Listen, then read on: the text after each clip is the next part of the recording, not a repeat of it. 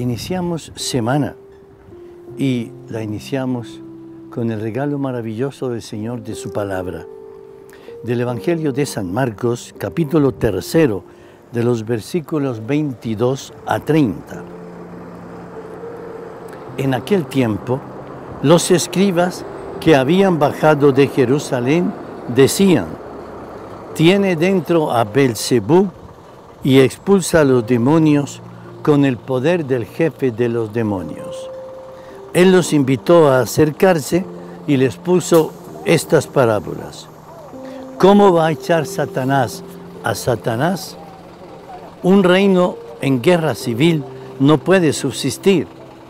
Una familia dividida no puede subsistir. Si Satanás se revela contra sí mismo para hacerse la guerra, no puede subsistir, está perdido. Nadie puede meterse en casa de un hombre forzudo para arramplar con su ajuar si primero no lo ata. Entonces podrá arramblar con la casa.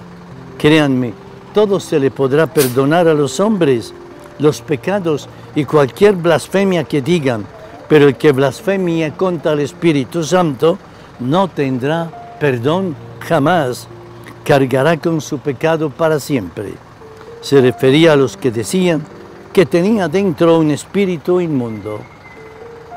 Palabra del Señor, gloria a ti, Señor Jesús. Recuerdo cuando estaba pequeño, algún vecino, diríamos hoy, empezó a hacer bullying, a hacerme la vida insoportable por aquí y por allá. Y me acuerdo que en algún momento mi padre me dijo, no tengas miedo, yo estoy para defenderte, yo no voy a dejar que te pase nada. Pues yo sentí una gran serenidad y una gran fuerza. Es un poco lo que el Evangelio de hoy nos dice. Sí, Satán existe y Satán está precisamente mortificándonos porque quiere desviarnos del camino, quiere hacernos caer en el mal, quiere hacernos sembrar miedos, dudas. Por eso Jesús dice que no se perdona a aquel que realmente no admite la palabra y no quiere creer y no acepta que Dios nos ama. Pues bien, Satán está perdido, sí, porque Jesús está con nosotros. Y Jesús puede siempre vencer el mal.